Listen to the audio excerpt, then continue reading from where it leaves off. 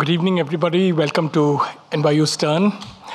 Um, the In Conversation with Lord Mervyn King series has become one of NYU's most anticipated events uh, of the year. And we have another blockbuster evening today with a very special guest. So, just wanted to welcome you all. Just two house rules I wanted to remind you of. One, please no photographs from the aisles, but you're welcome to take photographs or, uh, or, or uh, from, from your seats. Also, we will have a question and answer session with Ms. Nooyi at the. So, Dr. Uh, Lord King and Ms. Nooyi will have a conversation for about 45 minutes, and then we'll open it up to the audience. So, if you have any questions, there will be mics placed in the aisles, and you can step up and ask your questions then. Thank you all. And for those of you who are able to stay after 7 o'clock, there will be a reception following this event. You're welcome to join us.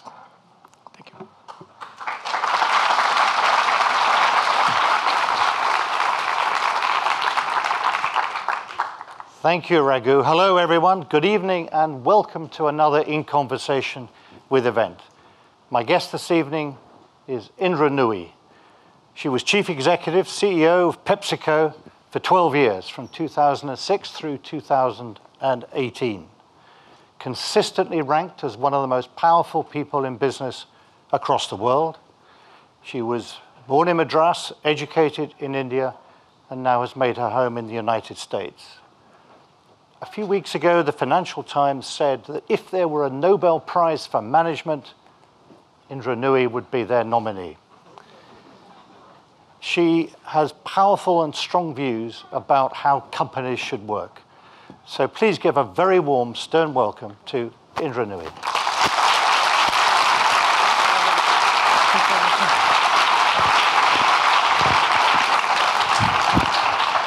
I missed that article. we'll get it for you.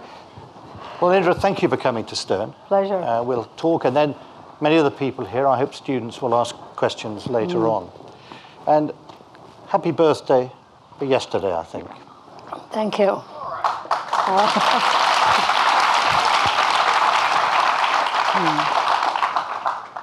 There's a lot of discussion today about the role of a corporation or company in the world what it should do. Should it maximize shareholder value? Should it have wider purposes? When you're at PepsiCo, you introduced the idea of performance with purpose. Can you tell us something about what that meant and, and why you did it? Hmm. Let me, um, first of all, thank you for having me here, Mervyn. I've seen the YouTube videos of the In Conversation with Lord Mervyn King, and um, I always looked at this as a very um, prestigious opportunity. So thank you for having me. It's our pleasure. Um, and um, this is a great birthday present for me too. So thank you. Um, let me talk a little bit about PepsiCo and performance with purpose. Um, when we did performance with purpose, it felt like the only thing we should be doing to run a responsible company. In retrospect, everybody talks about it as if it was something frame breaking. So uh-huh. I think I should plot some of the arc of progress for you. Um, PepsiCo has always been a high performing company. The financial performance was always very strong. We made the changes to our business when we needed to make it. And it's always been a well managed company. Um, and the way I'd put it is, we were a responsible company. Uh, we invested for the long term, we delivered results in the short term, we had an excellent board, we had excellent corporate governance, we treated our customers, our suppliers, our employees in a wonderful way. So we ran a responsible company. When I became CEO, one thing became very apparent that the world around us was changing in profound ways. And even though we weren't seeing the, the impact of all of that immediately, we were going to begin to see them in the next few years. And how did we how did I realize the changes were coming? Let me give you a couple of examples. One, um, in PepsiCo, in all our meetings, we have a, a, a big um, table on the side of every conference room. In the late 1990s, the products used to be regular Pepsi or full sugar Pepsi, full sugar Mountain Dew, a little bit of Diet Pepsi or Diet Dew. By the early 2000s, you know, between 2000 and 2006, it shifted to a um, little bit more Diet Pepsi and Diet Dew. And by 2006 7, there's a lot more Aquafina water showing up. Mm-hmm. And then it's not just the products that were on the credenza, it's the depletion rate the water and the diet products had to be replaced two or three times during the meeting and the regular sugar products would stay around with very low depletion. Now, to me, that's very telling because that basically says even among the PepsiCo employees, we're all consumers, uh, their behaviors and their habits were changing. Um, and then as you talk to them and really understand what was going on, they would tell you that their families were also changing the way they consume products, what they fed their kids. That was to me a profound trigger to say that the whole health and wellness trend was not a fad or something people were just talking about on the edges. It's really changing the core of consumer behavior. Um, the other thing one noticed was that in many cities around the world, we were being denied a license to expand our plants because we used a lot of water. Uh-huh. We used three liters of water to make a liter of Pepsi. I grew up in Madras in India where there was no water for living. And it seemed unconscionable that we could have a Pepsi plant in the outskirts of Madras using three liters of water to make a liter of Pepsi when the people in the city of Madras didn't have water to drink or bathe or carry out their day to day responsibilities. Similarly, on plastics, landfills were becoming full, landfills were being shut down, and there was no place to store all the plastic. So, as you put all of these things together, these trends, we realized that as a company, we had to change in profound ways. But the CEO deciding you have to change in profound ways doesn't help. You've got to build the case uh-huh. to make the change. Um, so we started a piece of work where we identified the mega trends that were going to impact the company over the next decade or so health and wellness, uh, aging population, the environmental focus, uh, cybersecurity. There were about 10 mega trends we identified. And then we said, what are we going to do to fundamentally change our company in response to these mega trends? So if we didn't have those mega trends and I came forward and said, we're going to make a shift to health and wellness, people would say, forget it you know, we are a company that makes treat-like products. We're going to yep. keep making them, and there'd be a lot of resistance. But once we showed them these megatrends and allowed people to debate and discuss the megatrends, and once they bought into the megatrends, making the change was pretty easy. But the key thing is we had to do the megatrends outside in, not inside out. Had we done it inside out, would have been incremental. We had to do it outside in, so it would really frame the world. The second thing we had to do is find the right language to talk about these megatrends. And that's how the words purpose ah. were born. Today, people talk about purpose as if it's a new way of running the company. It's not a new way of running the company. It's throwing heart into the company to say, ah. there's a reason we exist. You know, a tobacco company never says the reason we exist is to create lung cancer. They don't say that. Um, PepsiCo never said the reason we exist is to make people obese. That's not the reason we exist. We existed to provide convenient foods and beverages. Society changed, so we have to change. Because that is the responsibility of a corporation to change when societies have to change. So, performance with purpose was about delivering performance, but the purpose element was threefold change the product portfolio to make it healthier and dial up the really positively healthy products, reduce our environmental footprint, and make the company a more inclusive company so everybody could bring their whole self to work. And the wonderful thing about performance with purpose was if we didn't work on purpose, we couldn't deliver performance. If we didn't deliver performance, we couldn't fund purpose. Uh-huh. So we changed the way we made money. We didn't give away money we made. And then we went on this campaign to sell it across the company and kept hammering the same message for 12 years, put the investments behind it, and we delivered results. Tell us a bit more about how you actually, in practice, persuaded the employees to buy into this message because that was I can see the leadership coming from you, but how did you get the very large number of employees to buy in? It was interesting. The rank and file got it right away. The young people got it. Um, the real problem was what I call the frozen top.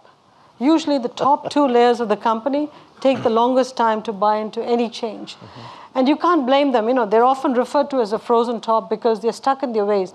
The reason they're hard to convince is because the minute they hear about a change program, the first thing that goes through their head is, oh my God, how am I going to deliver my targets? How am I going to deliver on the quarterly numbers? Will they give me enough investments? So they're very pragmatic. So what you've got to do with these people is to say, look, we are going to give you the investments we are going to modify your targets. We do expect a behavior change from you.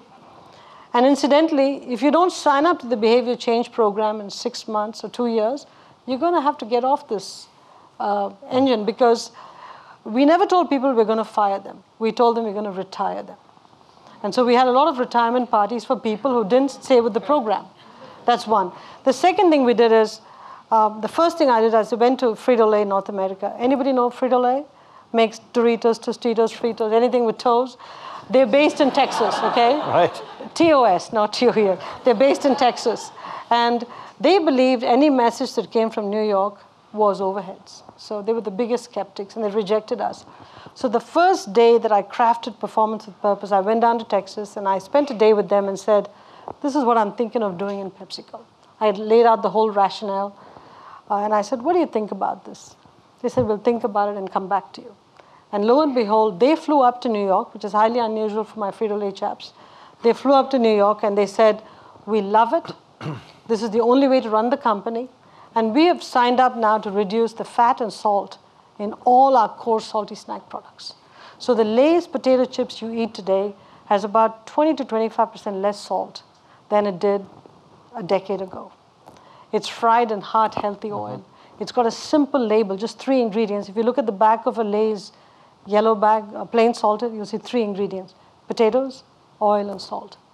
And um, it's a great chip to have. So if you're going to eat a potato chip, eat the Lay's because I will. It's the, it's the, it's the healthiest of the potato chips. That's, you know, that's what we were aiming to do. Tomorrow morning I will. I'll try it, I promise.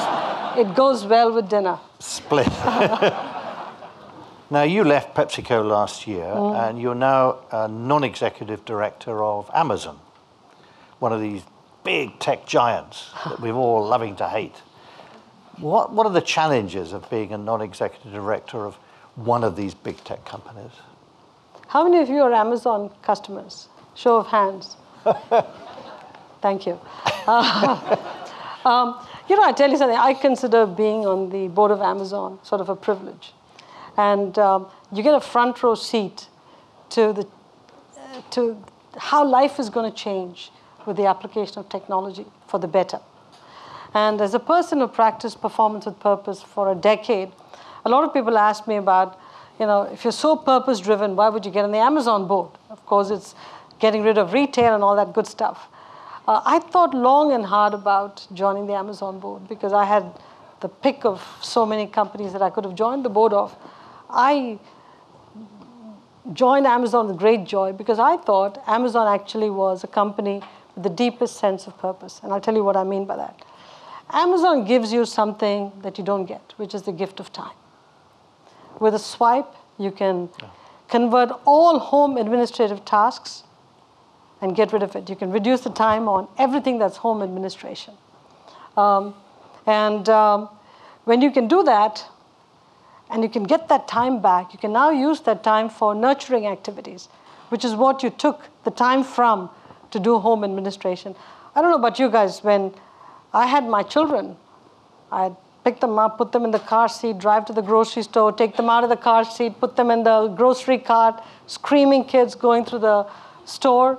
Hey, now you want to do anything at home, do it. Just swipe, swipe, and the mm-hmm. products appear at home. So to me, Amazon is an amazing example of purpose. They give you the gift of time. Which other company can say that? So I look at it as an extension of the performance with purpose that I was practicing to be part of a purpose driven company. And so I actually consider it an incredible privilege to be part of this company. So you talked about it being a privilege, but it's also a challenge because you have a responsibility as a non-executive director.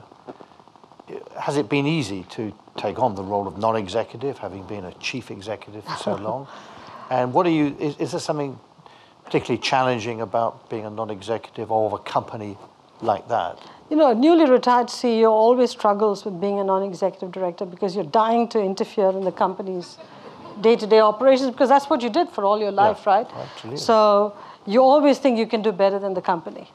Um, the good news is that in the case of Amazon, there's no way I can do better than the company because they're so damn smart.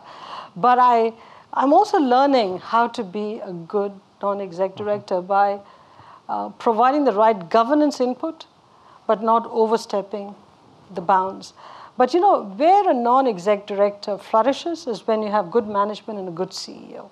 And that's what we have in Amazon. I mean, I'm not a commercial for Amazon, but for those of you who know Jeff Bezos, one of the most brilliant people I've met. And the big difference is that as a founder, he acts like a public company CEO, not as a founder CEO. So he comes to every board meeting, listens to the board, sits through every second of the board meeting, listens to us, and the board is a very vocal board. And so, um, you know, it's easy to be a non-executive director of a successful company, changing the world with a sense of purpose, with the founder CEO is acting like a public company CEO who doesn't have, you know, preferred class of stock. So it's the ideal world for a non-exec uh, board member. So, if you look at the range of very big high tech companies in the US, several of them, probably not Apple, but most of the others, are still run directly or indirectly by the founders and the people who started them.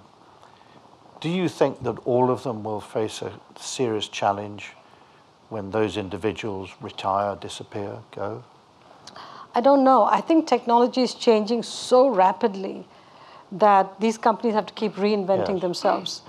Many young founders, CEOs I know to stay on because they believe that if you moved out of them into a professional CEO, they start to focus too much on quarterly earnings as opposed to reinvesting constantly hmm. into the future in an industry that has got a voracious appetite for capital.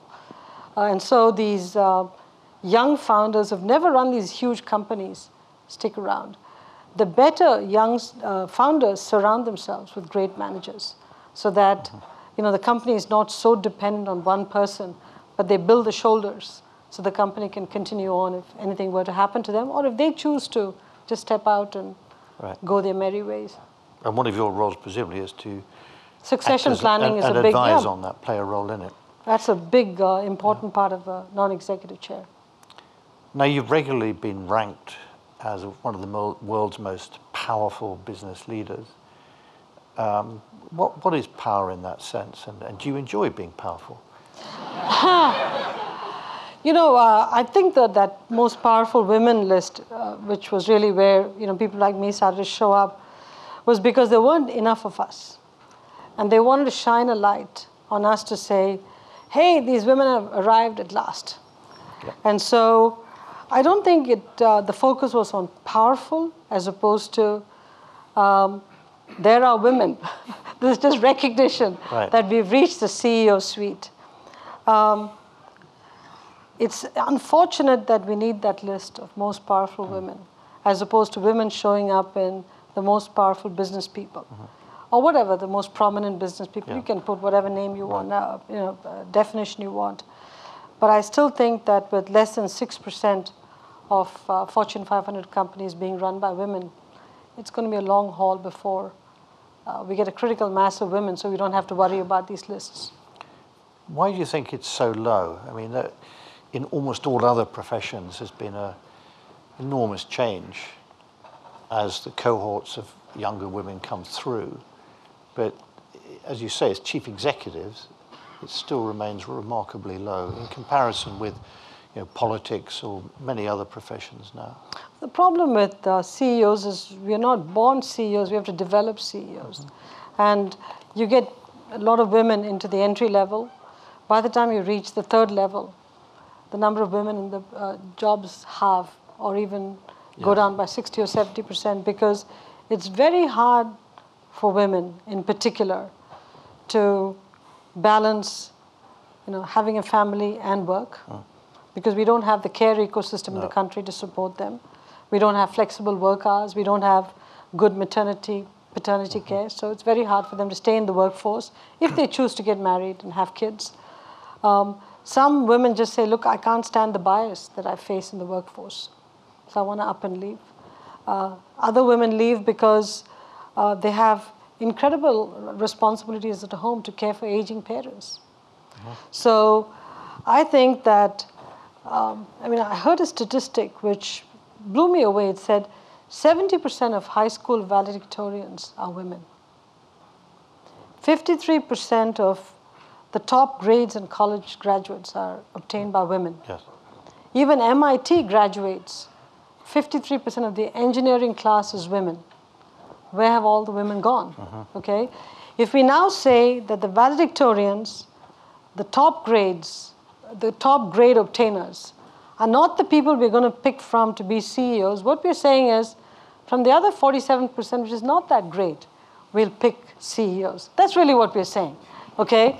And I think we have to figure out how to grease the skids so we can allow women to ascend. We have to do a lot of stuff. We have to address the care ecosystem. We have to address this bias issue, which is still incredibly uh, prevalent in um, business today, not just corporate America, but business as a whole. Um, and we do have to figure out um, how we can redo communities, families, societies, so we allow young people, not just women, young people, to integrate work and family. That's the next big challenge in front of us. So it's very interesting you mention it. My wife is from Finland. Uh-huh. She ran her own company. Yeah. My two stepdaughters are high flying executives. They've all benefited from extraordinary childcare provision in Scandinavia, which is provided collectively. So society provides. Right, the resources to finance childcare. Uh, and, and so it's just quite normal for women to, to combine. A, you don't have to take a big step out of a career, and it's accepted that people go back and continue. And yet, when I was at the Bank of England, what was very clear was that exactly as you said, over, just over 50% of our intake were women Yep. as economists. Um, and yet, when it came to the higher levels, people had dropped out. Where had they gone? They'd taken a career break.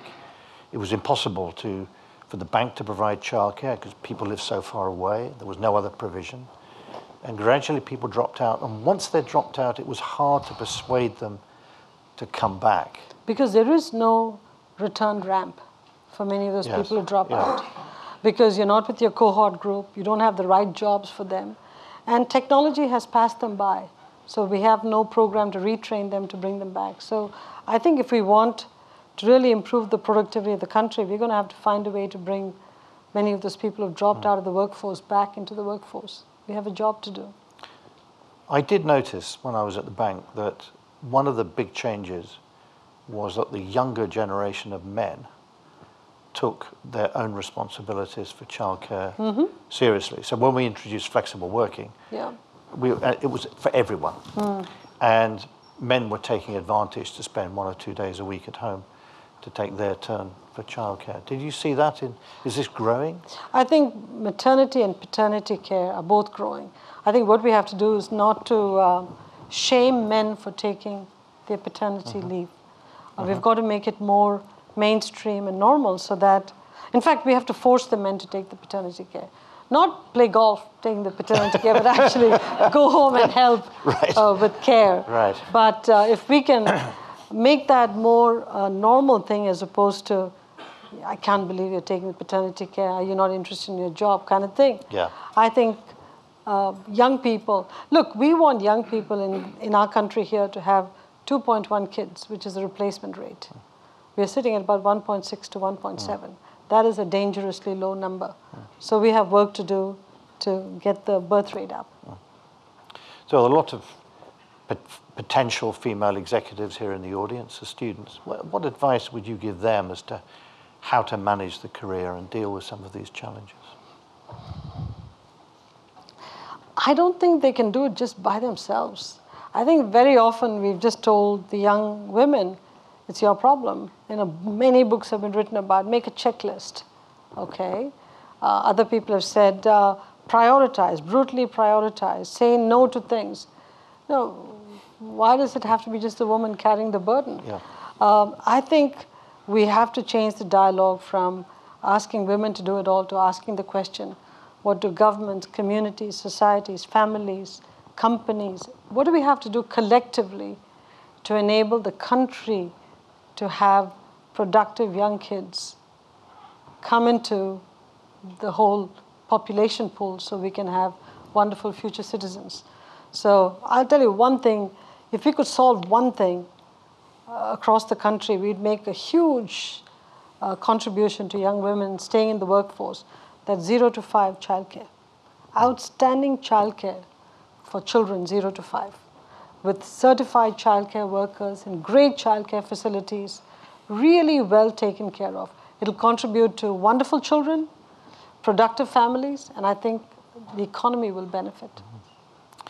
Now, you were born in Madras, you came to the United States. Why did you come here?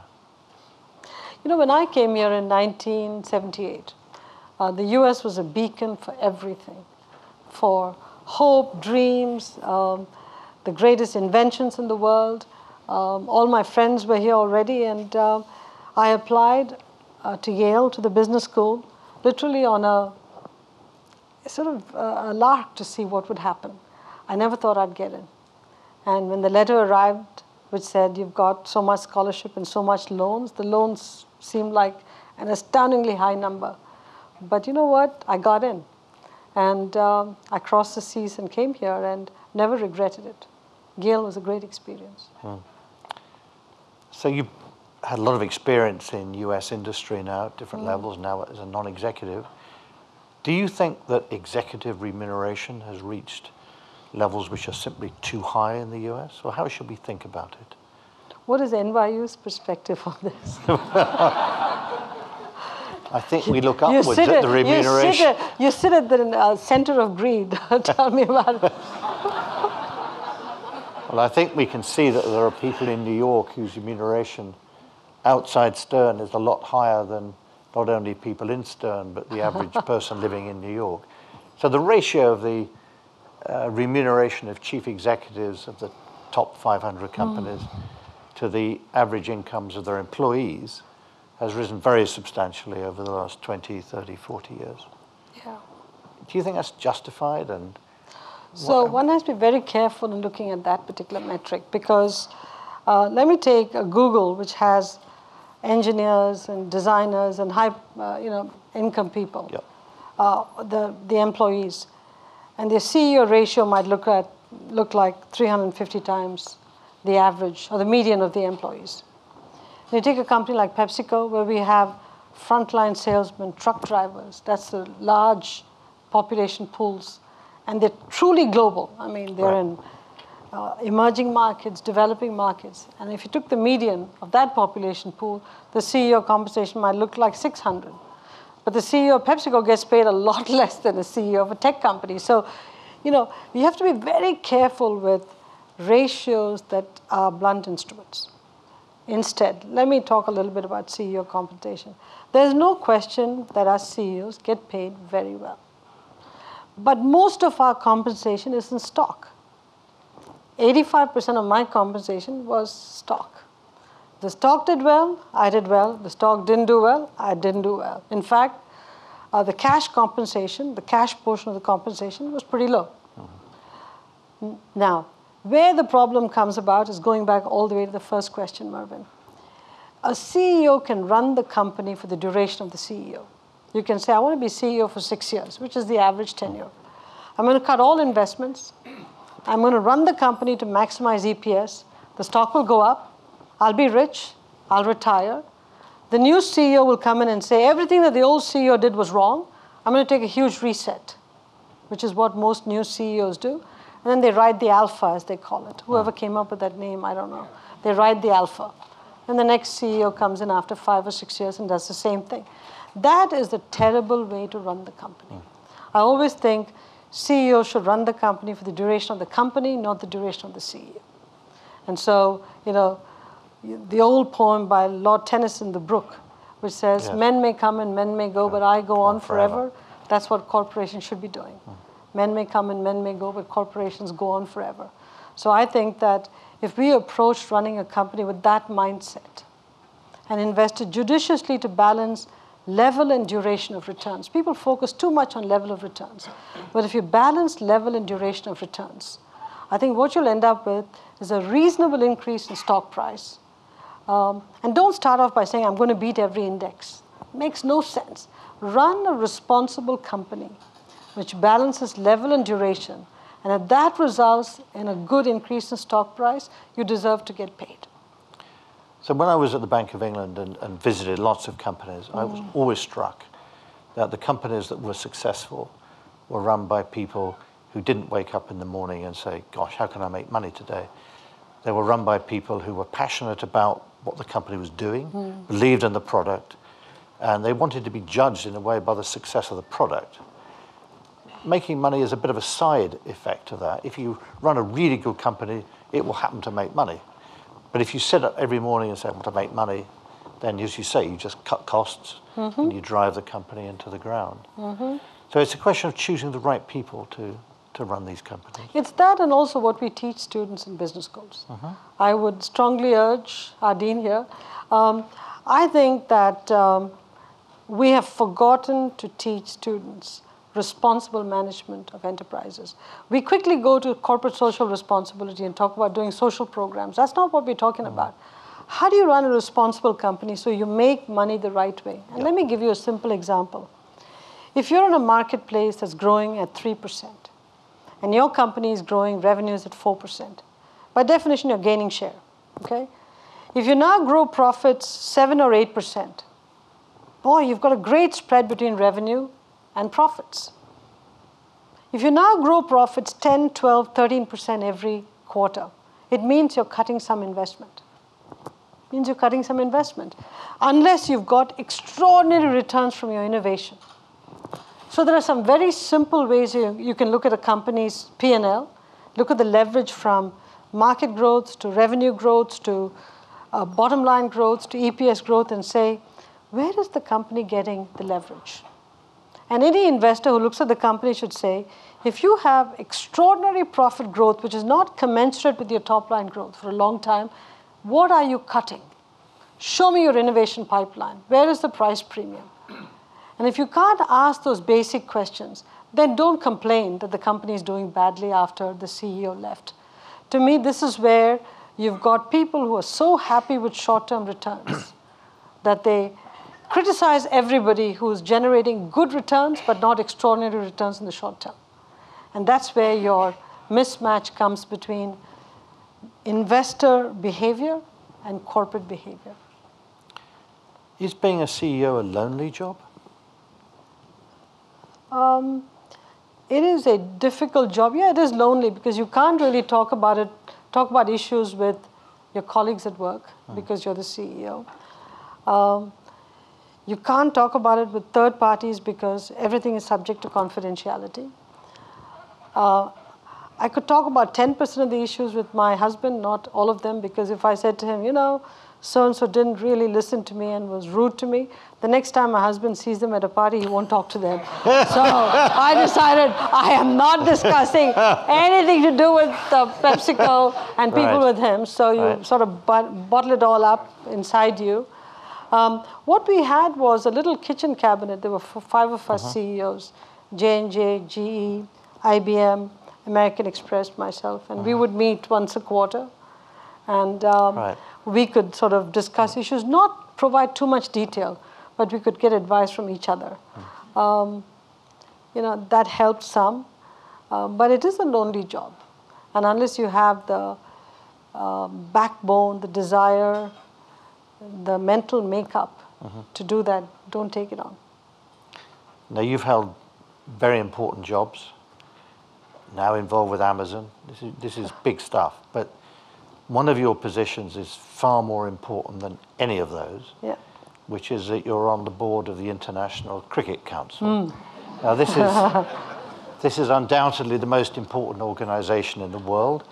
Um, cricket seems to me to be a sport that tells us a lot about life. It's at any moment two individuals are battling each other, but it, you only win or lose within a team. Wh- why did you take this on, and what do you think are the lessons from cricket which many of our audience need to understand if they're going to be successful in life? Why did I take it on? You know, um, when I was growing up, cricket was religion in India. Yeah. It still is, Yeah. as you know. And um, cricket those days was just beautiful. This game, everybody was in whites, not these multiple ab- rainbow colors. absolutely. There wasn't as much protective gear that people wore, so it was really a fun game to watch. Not that I like people getting hit by bouncers, but you know, it was a fun game. Um, and when I went to college, uh, there was no women's cricket at that time. This was 1970, 71. There was no women's cricket at all. And we started the first college cricket team and uh, for women. And then the other colleges in Madras started women's cricket teams. And we played cricket and loved it, loved the game, loved getting involved in the game of cricket. Um, and I'll tell you an interesting story, um, a humorous story. The first match we played against another women's cricket team, the men were the umps. And so, like, I was bowling. How many of you know cricket here? Show of hands. Okay, quite a few. So I was bowling. First ball, the person's LBW. Okay, and I asked for a call and say LBW out, and the ump doesn't give me the call. Mad like hell. But the third over, clean bowled. It's over. So I look at the ump and say, What happened in the first over? Why didn't you give her out? He says to me, She was a good looking gal. I wanted to see her for two more overs. you see, this, this is what we faced in cricket. Indeed. In cricket, okay?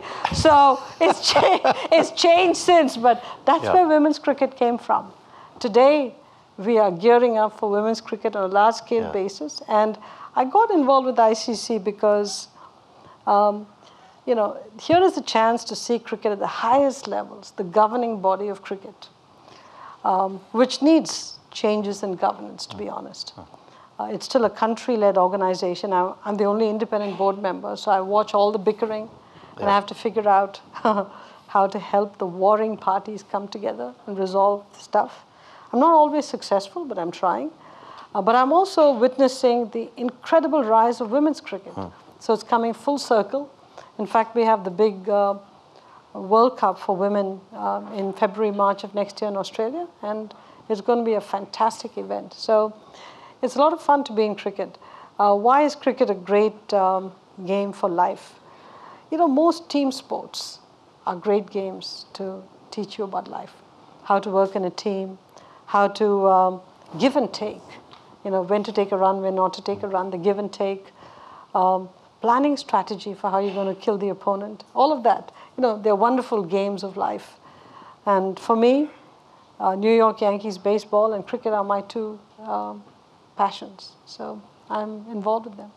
So in a minute, we're going to open it to questions. So please get your questions ready. There'll be microphones in the two uh, channels here. I, I just want to come back to the question of women's cricket because it's the fastest growing sport in many countries. And together with Mark Nicholas, who's a well-known television commentator, he and I started a charity to promote cricket in state schools where it had been disappearing. And one of the unexpected side products of that was that now, now over 4 million children have been through the project. Hmm. Half of those are girls. That was not expected when we started. Hmm. And the women's team, in it, the English women's team, coach in this program when they're mm-hmm. not actually playing for England. So anyone who hasn't yet got a sport, forget golf. That's not the way to business success. Cricket is. Actually, So- we're going to open up USA Cricket. Ah, Oh, tremendous. Oh, yes, we are Right. investing heavily in USA cricket, and there are many, many, many, many players in the United States who want to play cricket. And the hope is that we could get cricket into the 2028 Olympics in LA. That's the hope. Excellent. Well, that's a real ambition. Wonderful. Now, uh, questions from the audience. So there's one here. I'm sure there'll be many. There's one at the front here, and then there's one just over there, and I'm sure there are others. Thank you so much for coming. Pleasure. Uh, so, uh, um, three companies that are going through sort of uh, issues and stumbling blocks right now are WeWork, you know, Juul Labs, and Boeing. If you could just, if you were CEOs of, of, of each of these companies, what advice, or if you were consulting each of these companies, what advice would you give them, and how would you use your management style to kind of turn them around or get them over the stumbling block?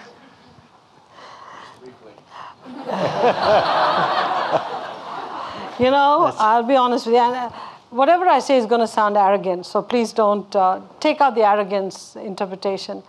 Uh, if I was CEO of any of these three, we wouldn't be in the mess we are in. okay? Because it's harder to clean up messes than it is not to get into the mess in the first place. All right? Um, it's better to delay a program than to launch something hurriedly and face the consequences later on. I can't tell you how many projects in PepsiCo, they didn't, it didn't hurdle on product taste. We just pull it at the last minute. Just say it's not worth launching. Even though the cost of failure of a PepsiCo product was much smaller, we just pull it. Um, never ever try to launch a company where you don't have a clear pathway to profitability. and you know moats around the relevant parts of the business. If you don't have it, don't launch it. And um, if you're a company which is viewed as sort of the sin company, don't try to compensate for one sin with another sin. Okay, so recovery from these problems is much harder.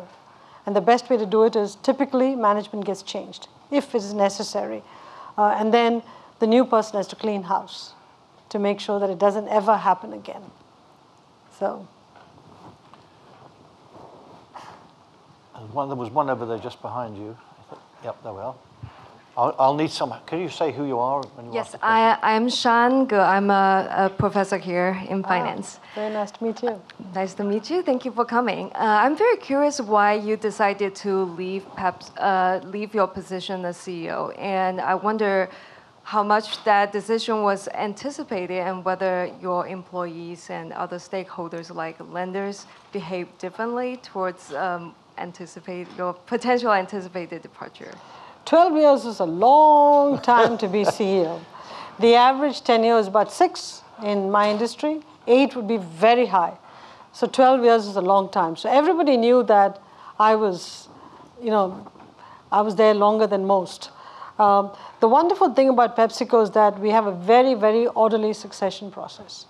So, uh, you know, we build the pipeline, uh, we get the candidates lined up with big jobs so the street knows who's being groomed for big jobs. And then a year or so before the decision, we elevate a couple of people to even bigger jobs. So everybody knows the change is coming. Um, and if anybody was surprised by my stepping down, I never heard about it because they viewed PepsiCo as a textbook transition um, example, which it has been in the history of our company. We've always had insiders. They've always been through a logical and planned methodical transition process. So from my point of view, uh, I was tired. After 12 years, um, I really wanted to do something else. And so our board is a very good board. We had wonderful conversations and we had a wonderful transition. So everything worked out fine. Well, you're certainly not tired now. Now there's a question, Hi, over I'm there. David Knapp um, Okay, with and American then, Express. then after that, down here on the. So go and ahead. uh, I wanted to ask you. You mentioned that you were excited, um, surprised that you got into Yale, and um, there's a lot of people who have an imposter syndrome, and I'm wondering when in your career you thought, "Wow, like I really am incredibly successful, and the rest of my you know tenure is going to be great." Like, how far into your career were you when you sat back and had that reflective moment? You know, until my last day at CEO, I didn't, still didn't feel that way. I'll tell you why. Because as an immigrant, you have an immigrant's fear. The fear you have is, oh, you might fail and you'll shame your family. This is maybe an Indian cultural thing, okay? And so at every point in time, I was like, I hope I'm doing okay. I hope I'm earning my job. I hope I'm earning the right to be CEO. I hope I'm doing the right thing. So I always had that fear in the back of my head. There was never a time I felt I've landed. You know, I'm successful, I'm powerful. Those, you know, uh, badges meant nothing to me. I was always worried about how I was doing the job and whether I was worthy of doing the job. Um, now I can sit back and say, yeah, maybe it was uh, successful. You know, I met somebody from PepsiCo last week who came to visit with me, and they were saying, Indra, do you know we did A, B, C, D, and they rattled off everything we'd done. I said, yeah, I guess we did all of that stuff. But while we were doing it, it just felt like we have to get it done, not that we were ticking off milestones and success was being measured that way. So maybe just an immigrant's fear, different mindset. Hi, I'm Snehi Kapoor. I'm one of the executive MBA students here. Um, my question is regarding you mentioned mega trends. So bigger companies monitor megatrends, and so do smaller ones like mine. Um, what is your uh, one takeaway in terms of or, or advice for a young company or for a small company when bigger companies like Amazon are entering every single space to survive or to do better, or except for being acquired by a bigger company? What space are you in? Uh, healthcare, in particular. Healthcare, yeah. Look, that's a area that's ripe for innovation and uh, invention. So, um, you know, you've got to think through how the space is going to change, or what trends are going to impact your space over the next few years, and what space you want to occupy there as a niche company. I mean, I'm looking at digital healthcare startups all the time. I'm looking at insurance companies like Oscar starting up. I'm looking at what uh, Atul Gawande is doing with the three big companies with uh, Haven. So I think the opportunities for big companies, small companies, little niche companies abounds in this digital, in this healthcare space. Depends which area you want to go into and why. What do you have that makes you worthy of being in that space? That's a question you have to answer yourself. And uh, sometimes, you know what? Um, a big company buying you out might put you out of your misery because you can't scale. Sometimes you just can't scale up. But I hope you're successful with your company and I uh, wish you all the luck. Mm. There's a question over here on the right and then the second row here afterwards. Hi. Again, Hi thank you for coming. Um, I'm an undergraduate student here at NYU. I'm a senior, and I just have a question about the megatrends that you mentioned. Mm. So, in Bolivia and in my experience with South America, it seems like the health trend isn't as prevalent as here in America. People, like at least in my experience, still seem to enjoy um, sugary drinks and not really healthy snacks, you would say. So I was just thinking, like in your experience, do you think this change will expand like the way it has in, in the U.S. to regions like South America?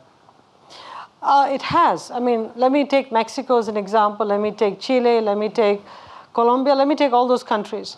Um, I remember uh, Mexico talking to the Mexican team, and the Mexican team said, We in Mexico love our sugary drinks and we love our salty snacks. You know, we own Sabritas and Gamesa in Mexico. We own, we own those markets. Um, yet, if I looked at the underlying trends in Mexico, I felt that there would be an increased focus on health and wellness. Just look at all the statistics. Now, I want to be very clear. Our product's only 2% of the consumption calories, 2%. Yet, I thought every company in the ecosystem should worry about these issues. Because if every 2% company says, not my issue, collectively we won't make change. I just felt all of us collectively had to lean in. Um, anytime I talked to my team in Mexico, they wouldn't admit there was any issue. But as an outsider, every time I went in, I could see the issues. I could see the landfill, the uh, junk lying on the uh, sides of the road. Um, I see the obesity statistics creeping up because the food there itself is high in fat. What happens six months later? The Mexican government imposes a huge soda tax. Okay, so I think what one has to do is uh, look at all the numbers and statistics objectively and draw for yourself conclusions almost as if to say, if I were president of the country, what would I do? And if you think that way, uh, you can draw a line and say, in five years, there could be some action. So let me change the portfolio now. Okay? But in changing the portfolio, I'm not telling you that by reducing the sugar, you make a lousy product. It's still a great tasting product, but with lower sugar. Okay? Great tasting product with zero sugar. So the challenge is how do you give you the same great taste without the negatives? And that's what performance with purpose was all about. Question here on the second row. Hi, thanks Hi. for being here. My name is Amy Ho. I'm a second year full-time MBA student here. Um, I work for a family office that does early stage investments in better for you consumer products. Um, and I know Pepsi did some awesome uh, acquisitions like Bare Snacks and SodaStream. So my question for you is, do you have advice for early stage investors that are trying to shape the space the right way? Um, or, you know, what, how can we do the right thing? Look, uh, are you in the food space? I am. Okay. The first thing, and you know, again, I'm going to give a generalized observation. May not be in your company's case. All the small companies we bought, or many of them we bought, what we discovered, and we, we usually bought them when they were between 30 and 100 million dollars in revenue, because there are stall points in these small companies. The first stall point comes at about 30 million. The next stall point is at 100 million, then at 200 million. Struggle to scale. What we discovered was many small companies, what was on the label and what was in the product were not consistent. Okay? So remember, if you really want to succeed and get to the next plateau and the next plateau, you have to make sure your product authenticity is complete. Um, uh, we bought a drink called Sobe. How many of you know Sobe, the drink? You've heard of it? you guys are really well uh, educated group. Um, you better tell me what it is. We bought Sobe as a beverage some year, you know, maybe about uh, 15 years ago. And when we bought Sobe, we didn't do the due diligence on the labels and the product because it was doing so well. It was $100 million in sales.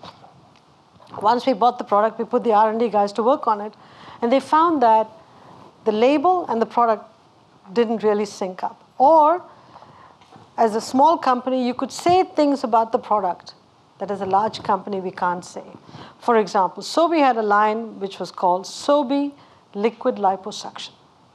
Liquid liposuction. What was it? It was a lower calorie Sobe product. Now, if PepsiCo called the product liquid liposuction, what do you think a lawyer is going to do? A lawyer from NYU is going to do. you know, there would be a lawsuit against us saying we didn't see anything liquid or liposuctiony about this product. So what happens is, as a small company, if you start doing the right things now, it might add to your costs, but it'll create a more robust company. And at some point, you will want to flip it unless you have infinite resources because uh, scaling up in uh, consumer products is very, very expensive. And so you have to partner with a big company. You'll get a better price if you create the right product where all the elements of the business model align themselves to the truth of the product. Okay? Question on the fifth row here.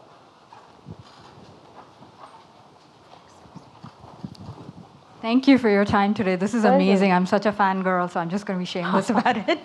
Um, my name is Uttara, and my question for you was around um, the way unicorn companies are growing today versus how you, when you look at companies from the prior generations and how they've grown strategically and you're seeing how overnight growth is, growth is happening with companies today. What's your perspective and where do you see some of these companies grow, growing? It's a generalization because there are good unicorns and then there are unicorns still finding their way. Uh, recently, uh, a bunch of us retired CEOs are doing a lot of work with unicorns. People who want to go public next year or the year after have reached, you know, a line of sight to over $100 million in sales. Some of them have got multiple hundreds of millions of dollars in sales. Again, what they don't realize is when you grow so fast, if you don't build the foundation of the company when you are small, you're never going to build it when you get big. Right when you're, before you go public, be very clear where your advantage lies. What are you going to invest in? What are you going to outsource? Where are you going to borrow services? Be very clear what your business ecosystem is going to look like. And have a clean line of sight to saying, I may be investing for the next five years, but after that, here is a clean line of sight on, in terms of how I'm going to make money. Very few companies have that. And then they offset their inability to talk about how they're going to make money through financing mechanisms if I did this lease model with this buyback model, with this repurchase model, with this low debt model, I'll be okay. Doesn't work. All those are games. You know, like this finder finder game they have in the Caribbean is one of those. I don't think that's what we should be looking at. What is a clean business model that will deliver profits in whatever time frame? Articulate the case, articulate how you're going to build moats around part of your business. These unicorns can succeed.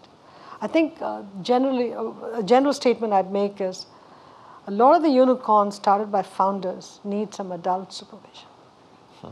That's what they need, okay? Excellent. There's a question near the back.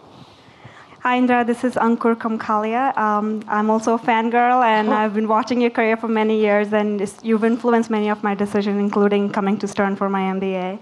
Um, what my question is, I have two questions. One is, do you see companies like Amazon and Google sort of turning to uh, heavily regulated sectors like financial services, um, whether it's payments or asset management? Uh, and my second question is, I've heard a lot of stories about your success. Do you have any stories of uh, failure to share with us as well? Hmm. Um, you know, I don't know where Amazon and Google are going to go and whether they're going to become regulated companies. Um, I think regulation is needed if you behave badly. Okay? Um, and more and more regulation happens if you behave, you know, if your bad behavior continues, which it did for many financial institutions, witness the 2007 crisis. And you should talk to Lord Mervyn King about this. He knows all about it. um, if a company behaves responsibly, if an industry sector behaves responsibly, it anticipates regulation and changes its behavior to avoid punitive regulation. There might be oversight, but they uh, transform their model to prevent punitive regulation. I hope some of the big tech companies do that themselves, as opposed to being regulated by people who don't even understand the industry. Okay, so that's my hope. Um, to your second question on failures, you know, uh, all of us become better because of failures. If we only had successes, you know, what do we have to learn from? Um, I can't tell you how many failures one has had, business wise, personally, you know, over my career, over my 40 year career. Um, sometimes I look back and say, did I just have bad luck or what happened? I look at each of, them, each of those failures as a teaching or a learning experience because um, I, I went back and I thought about what did I do wrong that I failed? Or what was wrong with my behavior that ticked off somebody else? And when you look at each of these as teachable moments, you become better and more humble after failure. So it's how you approach the failure rather than the failure itself that makes you a better leader. Another question just in front. And then we have this lady here who's had her hand up Oh, for a I'm long time sorry. the white hair. Yes, Hi, uh, my is Kevin Parks. Uh, Yes, Kevin. I founded my own company about three years ago, and I really enjoyed the part of the conversation where uh, Lord King started to talk about uh, people he knew or had worked with who are so successful because of the passion they have. And I find that in my own kind of day job, I, I focus more on and find myself, you know, trying to hit goals kind of objectively and working in the asset management space. It seems like, you know, one of the things um, you know, to, to the point that you were talking about, you know, beating an index, doing things that are objectively measured as successes. I'm wondering what the some of the more intangible parts of your job or your character that you think has set you apart, or some of the more intangible elements of, you know, just our, collectively as people we can kind of work on to help try and measure success a little better. Interesting. So let me, um, uh, clearly in our jobs, there have to be some objective measures, you know, like performance with purpose goals. You know, those were all public um, and those were made explicit, output metrics, um, and uh, uh, sort of in-process metrics. What are we investing? Uh, what's the return on the investments? All of those were tangible metrics. And those are all good success metrics because without them, there's no point talking about other leadership qualities. Um, let me tell you what I did in my time at PepsiCo. Um, first, I absolutely, totally loved everybody I worked with. I loved my employees. And let me tell you how I showed my love to them. I just didn't tell them I loved them. I gave them tough love. I coached them and I mentored them constantly, constantly. Um, I would, um, I'll give you one crazy example, which I look back today and say, I must have been daft to have done that. Um, the team in Russia um, was preparing to make a major presentation for an acquisition. I flew to Russia on a Friday. I worked with them all weekend to prepare for this presentation. And I flew back on Sunday from Russia. And I was, as I was leaving, I said to the Russia team, Do you realize what I just did? I'm the CFO of the company. I flew down to Russia to help you write this presentation, which you're going to present to the CFO on Wednesday. Does it make any sense? Would any other CFO do it? Probably not. But the reason I did it is because when that team came to present to the CFO, not to Indra Nooyi, when they came to present to the CFO, I wanted them to look good. Because that's the way they learn how to work a presentation and do it better. On the other hand, had they presented to me and I said, This is a lousy acquisition, you guys have no case, get out, would have demoralized them. On the other hand, did it take a weekend off my life? Yeah. But it made this team such a loyal team to me as I became CEO. So there's a great line which says the distance between a number one and number two is a constant. If you want to lift your organization, you've got to lift yourself because the distance between the number one and two is constant. So I constantly lifted myself and I forced the organization to rise up with me. And when they struggled, I put a hand out and lifted them up. So it was an enormous time commitment. But there's one thing I think most people in PepsiCo miss is that constant pushing I gave people to do better, to do better, to do better. I used to have three colored pens. I had a blue, purple, green, and a red, four felt pens, you know. And whichever pen was there, I would write on it.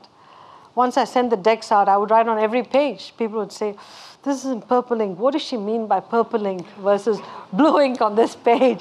So I had to issue a memo which says the ink colors don't mean anything. Don't spend a minute thinking about that. focus on the questions on every page. I read everything my people sent me. I gave them comments. I gave them ideas how to improve what they did. Sometimes I would tell them things like, great deck, but a trained monkey could have done it. Could you do better? You know, but they knew I, I said it from a place of love, not a place of anger or hatred. So you have to decide as a leader how you want to motivate and coach your people. Because your success is a function of how well your organization improves over time. One last question. Indra, you identified the question. I couldn't Right there. see- Go Okay, ahead. Right. Thank you. My name is Janet Valenza. I'm an NYU alum and I own a business. Uh-huh. And I want to thank you for coming, Indra. You're an incredible inspiration to me. Thank you. And you just mentioned about lifting yourself up. So you rose so high. Who, I wonder, was your inspiration? And how did you inspire yourself to continue to grow? Sometimes continuing to grow is not an option, it's a necessity. Uh, because uh, if you wanted to convince the organization to make major investments in uh, you know, AI for something, you can't just say, I'm going to put AI into this area. Nobody knows what it is. So as a CEO, I had to learn everything about the space and uh, communicate it to people sort of in a chicky-ducky way so that they can understand and make the changes. So in the past, it used to be brief the top and train the bottom. Today, it's train the top and train the bottom. So I had to train myself to become well versed in all these new technologies. In terms of inspiration, um, there isn't one person that inspired me. For different things, different people inspired me. For recovering from failures, um, you know, I look at um, you know, people in PepsiCo who had a sick child, an aging parent, uh, you know, a spouse who was going through mental illness, and they would still come to work, smile, and perform. And I sit there going, how do they do it? I know all the problems they have. How do they do it? And anytime I had a problem, I'd say, if so and so could do it with so many problems in their life, surely I can do it. So at every point in time, my frame changed. Uh, if I had to push myself to learn something brand new, I'd say, look, if so and so could have gone back to school at age 50 to learn a new skill, I can do it to run this company. So I was constantly looking for the right role model to get inspired by, as opposed to picking one person and saying, you are it, I'm going to be you, because you know, it's never going to work. It's too complex a subject. But thank you for asking that question. Appreciate it. Ladies and gentlemen, I think you'll all uh, agree with me that we've been privileged tonight to, to see and learn at first hand exactly what it takes to be a successful chief executive. And that's the cue for our own CEO, the Dean, who will close the session tonight. Yes, thank you. Thank you. Thank you so Thank much. you. Thank you. Thank you. Thank you.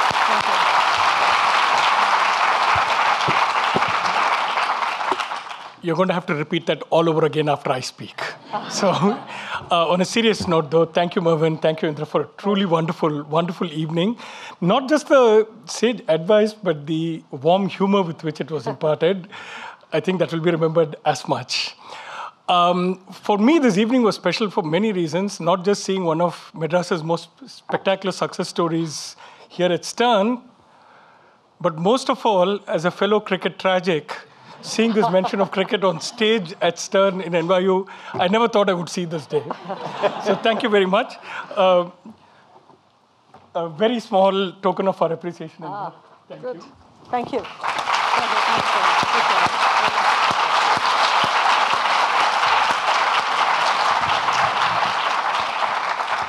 Thank you all for your questions, and please do join us uh, at the reception uh, just outside.